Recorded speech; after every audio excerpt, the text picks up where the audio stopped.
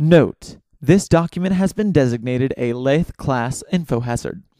Your access has been logged, and you will submit to an examination to assess its impact no later than two days from this moment. If you have accessed this document unintentionally, cease reading immediately and contact the Cognitohazard Research Group. Item number SCP 022 J. Object Class Keter. Special Containment Procedures. Due to widespread public knowledge of SCP 022 J, containment of SCP 022 J is limited to mitigating the damage caused by its effects. To this effect, the following procedures are to be enacted. The availability of SCP 022 J is to be reduced by means including but not limited to suppressing research into more efficient methods of refining SCP 022 J ores, limiting the mining of areas rich in SCP 022 J ores under the guise of protection of endemic species, using front companies to artificially drive up the price of SCP 022 J in order to limit the damage due to effects of SCP 022 J 1. Suppressing public awareness of SCP 022 J's physical properties to prevent SCP 022 J 2 effects from manifesting. To this effect, media containing counterfactual information with regard to the physical properties and proper uses of SCP 022 J are to be produced and propagated.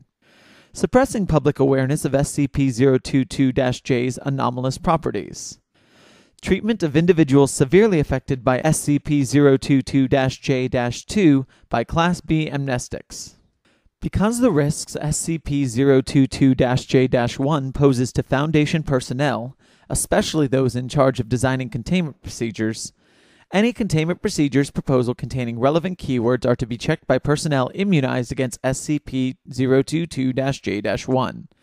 Calming agents of choice chocolate, beer, diazepam, Xanax, cannabis are to be available to such personnel to mitigate the effects of SCP 022 J 2.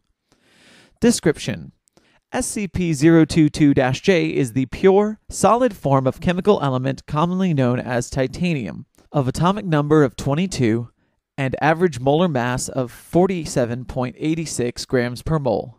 In its active state, SCP-022-J appears as a shiny, hard solid of density approximately 4.5 grams per cubic centimeter and melting point of approximately 1940 Kelvin. SCP-022-J behaves as a paramagnetic metal in most aspects and possesses a tensile strength of roughly 434 megapascals, remarkable for its low density. SCP-022-J is an info hazard. Knowledge about it causes the manifestation of two distinct sets of symptoms, designated SCP-022-J-1 and SCP-022-J-2. SCP 022 J 1 initially manifests when an individual with no prior knowledge is exposed to incomplete or erroneous information about SCP 022 J's physical properties and its recommended usage.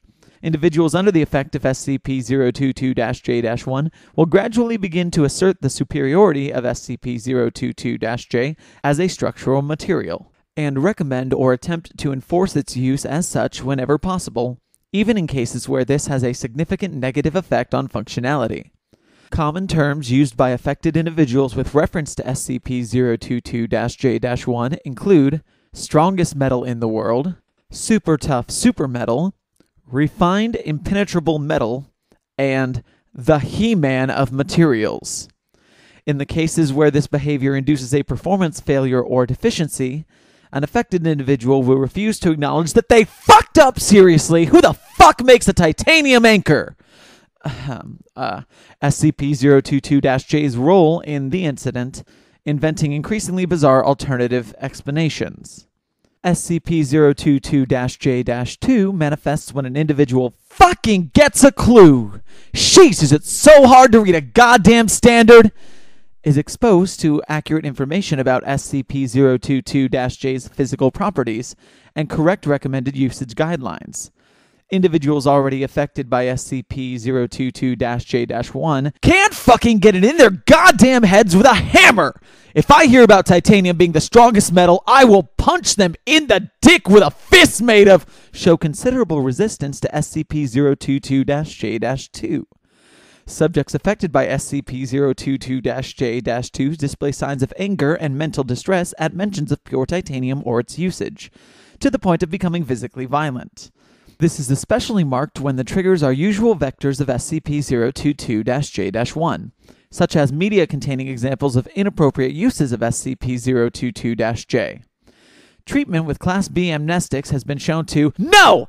Fuck this! There's no SCP-022-J-2! There's nothing wrong with me! Anyone reasonable would fucking freak out when seeing the 50th SCP proposal calling for a 5 foot thick titanium walls! You'd have punched him too! I'll give them titanium in their damn faces with a titanium dildo! This is a titanium conspiracy to sell more titanium, whatever fuck they make of titanium. I will show them who's fucking. Addendum 022 J 1. Incident 022 J 1. Forward. On 7th, 2000. While working on SCP 022 J report, researcher Eisenberg, further referred to as subject, succumbed to the effects of SCP 022 J 2. Transcript of security camera footage follows. Begin log. 1900 hours. Subject begins work on SCP 022 J report. 1930. Subject commences chewing on a pencil. 1941. Subject bites pencil through. 1944. Subject ceases spitting out splinters, curses loudly. 1949. Subject loosens his tie, takes out an unidentified pill, and swallows it, taking a drink from nearby flower pot, slumping on the chair. 1954. Subject resumes work.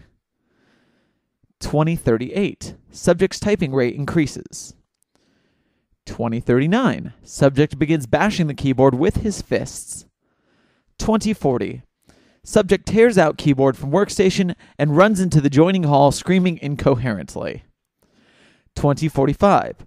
Subject uses keyboard to assault a security guard, yelling, I'll give you titanium cages! I'll give you titanium tits, you cunt whacked ass cheeks! And is promptly subdued. End log. Closing statement. Researcher Eisenberg was restrained and isolated in Section 5 Medical Wing on Site 19. Researcher Eisenberg's 2 022 J clearance was revoked, and he is relieved of his duties until his mental state stabilizes. Work on SCP 022 J documentation overhaul has been suspended, and the existing document classified as a Lathe class info hazard.